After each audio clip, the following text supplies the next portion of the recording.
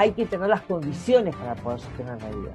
Eh, también, por supuesto, hay una serie de variables que son cognitivas, que son emocionales, que hacen que las personas, que los grupos tengamos mejores este, posibilidades de sostener medidas. Pero hay condiciones sociales que, tienen, que son relevantes para entender en qué, cómo las personas podemos cumplir, digamos, con determinadas medidas y eh, cuando eso no es posible sostenerse si no hay una contrapartida del Estado que asuma la responsabilidad este, como Estado para garantizar que esas medidas se puedan sostener. Es decir, lo que queremos decir, hay una dimensión estatal, hay una dimensión social de la sociedad en su conjunto y hay una dimensión individual. Es decir, hay tres planos que hay que tomar en cuenta a la hora de analizar cómo las poblaciones y las personas nos comportamos.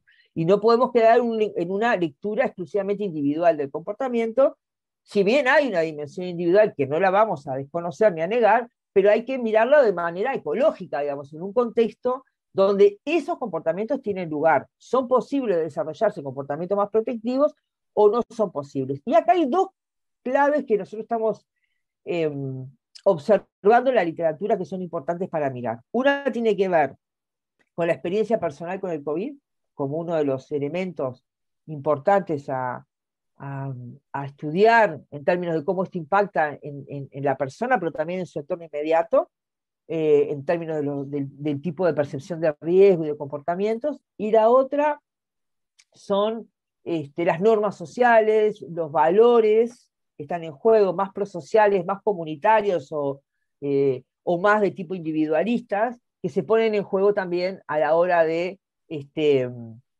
eh, llevar adelante determinada, determinados o, o comportarse de determinada manera, digamos.